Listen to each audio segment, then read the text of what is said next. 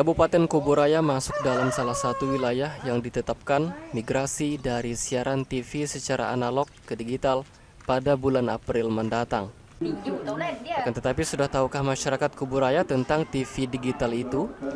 Seperti apa pendapat sejumlah warga Kuburaya dan dari mana mereka mengetahui program tersebut? Berikut ini hasil wawancara kami dengan sejumlah warga. Tentang TV digital sedikit banyak sih tahu. Oh, itu kan kita dari media. Nah, biasa kita udah baca-baca dengan apa? Dengan seringnya kita buka YouTube apa segala macam. Kita dah paham di situ. TV digital kan apa eh, tingkat penyiarannya apa tangkapan walaupun kita jauh sinyalnya kan dia lebih jernih, lebih terang, lebih bersih. Nah, tidak seperti analog. Kalau pendapat saya kalau memang apa banyak kelebihannya daripada pakai antena, alangkah baiknya kita pakai itu kalau memang barang ada. Kalau untuk di sini eh, TV gimana penerimaannya bu? Kayak ngerenyam ke enggak gitu? Renyam. Biasa tengah sedap-sedap nonton ni pergi lo betul kena mutar kadang-kadang dapat kadang-kadang tak ada.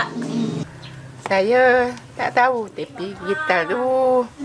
Kerana saya ni tak ada kat nak antena. TV dah. Macam mana? Rusak ya bu. Rosak gitu. Tak bisa. Tak lah. Jadi selama ini bu enggak ada nonton TV? Tak.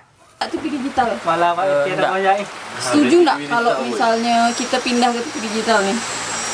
Kalau eh, kalau menurut pendapat pribadi sih saya sih enggak setuju kak. Tapi kalau memang TV digital ini eh, kualitasnya lebih baik eh, untuk ke depannya enggak seperti TV-TV kalau kalau TV di kampung nih kan merenyam. Kalau itu jadi harus susah dapat sinyal di kampung nih. Kalau memang TV digital ini bisa lebih baik dari itu boleh. Tapi kalau sama ya sih enggak setuju lah. Kak, tahu TV digital nggak kak?